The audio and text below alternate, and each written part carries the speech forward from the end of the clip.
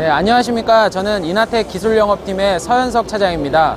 저희 이나텍은 어, 공장 자동화, 반도체 LCD, 그다음에 FPCB 가공기를 제조하는 전문 제조 회사입니다.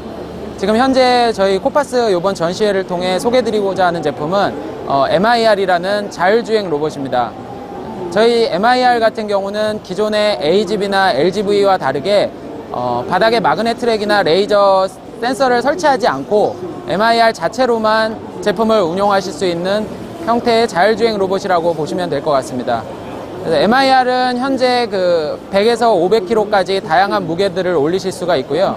실제 그 공장 환경에서 원하시는 탑모듈을 어, 구성을 하셔서 어, 공장에서 사용 원하 아, 사용을 원하 사용을 하시고자 하시는 환경에 맞춰서 제품을 구성할 수 있는 게 가장 큰 장점이라고 보시면 될 것 같습니다.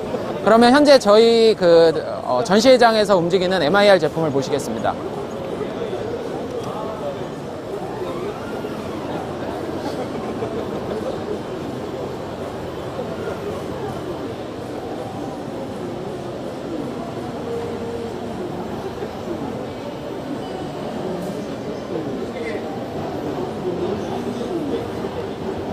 네, 이상으로 MIR 제품에 대한 소개를 마치고요. 어, 자세한 사항은 저희 홈페이지를 방문하셔서 어, 제품에 대해서 확인을 하시면 좋을 것 같습니다. 이상입니다.